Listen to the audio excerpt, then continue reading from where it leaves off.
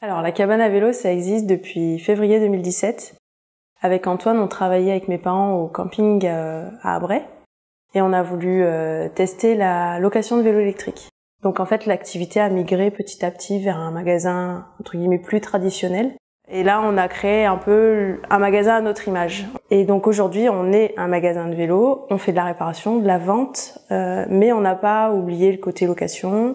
Et on a toujours aussi nos activités de stage, de coaching, parce qu'Antoine est, euh, est diplômé d'État. Alors, l'avenir pour la cabane à vélo, c'est de permettre à Antoine de développer euh, un peu plus le coaching. C'est vrai qu'il a énormément de demandes, mais de par le magasin, c'est vrai qu'il manque de temps.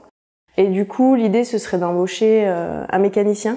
Pour ma partie, puisque j'étais dans le tourisme avant, moi, je voudrais développer un peu plus d'événementiel autour du vélo.